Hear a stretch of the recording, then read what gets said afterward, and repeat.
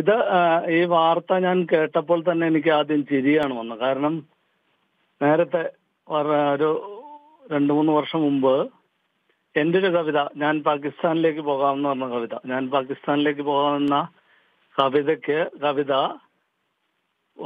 ഒരു D C ബുക്സിന്റെ ഒരു ആന്തോളജിയിൽ ഇറങ്ങിയപ്പോൾ ഒരു സമാഹാരത്തിൽ ഇറങ്ങിയപ്പോൾ അതിനെ വിമർശിച്ച ജനം ടി വിയിൽ ഞാൻ രാജ്യദ്രോഹിയാണെന്നും പറഞ്ഞ് അവർ ആദ്യം വാർത്ത കൊടുത്താണ് അതുമായിട്ട് ഞാൻ അതാണ് എന്റെ ഒരു വ്യക്തിപരമായ അനുഭവം ഇതിലുണ്ട്.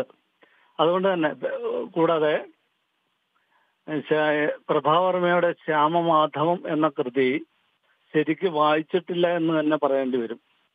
കാരണം ആ കൃതിയിലൂടെ അദ്ദേഹം അദ്ദേഹത്തിന്റെ കവിപരമായ ഒരു അന്വേഷണമാണ് കൃഷ്ണനെ നടത്തുന്നത്. ആ പുസ്തകം വായിച്ചാൽ അറിയാം വായിച്ചിട്ടുണ്ടെന്ന് കരുതുന്നു.